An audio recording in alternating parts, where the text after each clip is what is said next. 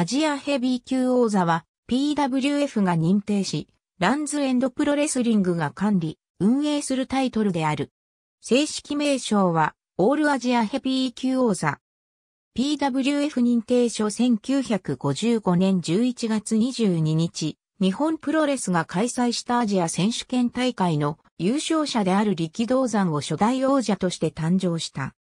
アジアタック王座も同じく、アジア選手権の優勝者を初代王者として誕生している。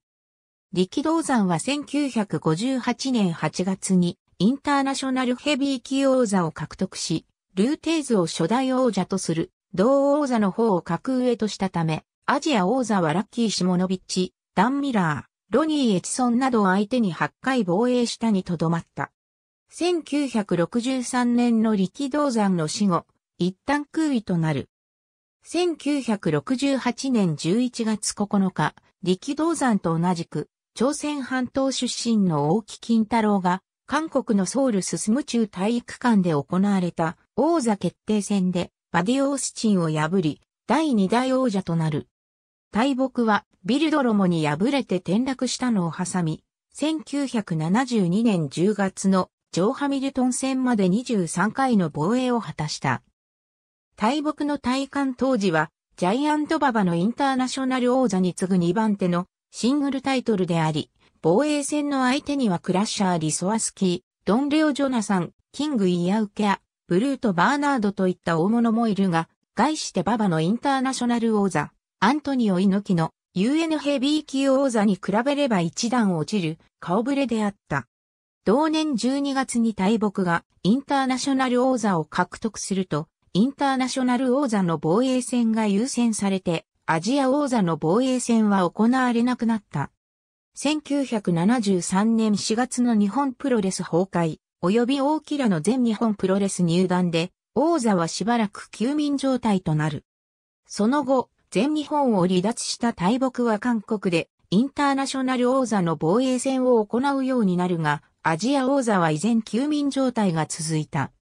1976年2月、新日本プロレスがヘビー級とタックのアジア王座新設を発表すると、対抗策として全日本プロレスは、日本プロレス版のアジアヘビー級王座とアジアタック王座の復活を計画。元日本プロレス代表のカオルの里が NWA に申請する形で、両王座の継続及び名称復活の許諾を得たことを発表した。シングルのヘビー級王座については、最終保持者である大木による継続保持が認められ、同年3月に韓国のソウルでグレートソロクの挑戦を受け、約3年半ぶりに復活第一戦が行われた。その後、大木は9月に全日本のリングでワルドーフォンエリックと防衛戦を行うが、無効試合で一旦は王座預かりとなり、10月に改めて行われた王座決定戦でワルドを破り、第5代王者となる。以降、ジャンボ鶴田と馬場を相手に2度の防衛戦を行った。後、1977年10月に、馬場の PWF ヘビー級王座とのダブルタイトル戦に敗れて王座を失った。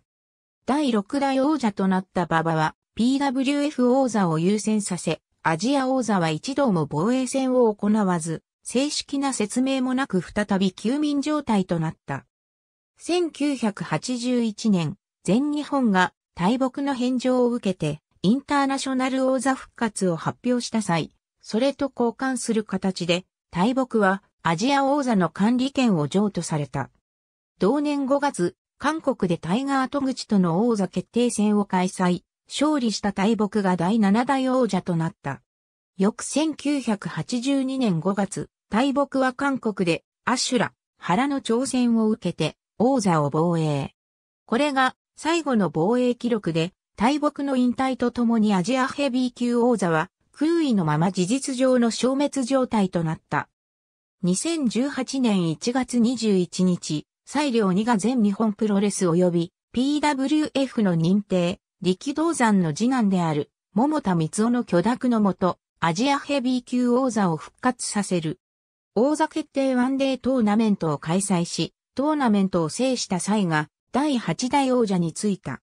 なお、旧王座のベルトが権利関係の問題から使用できないため、復活に際し、ベルトを新調している。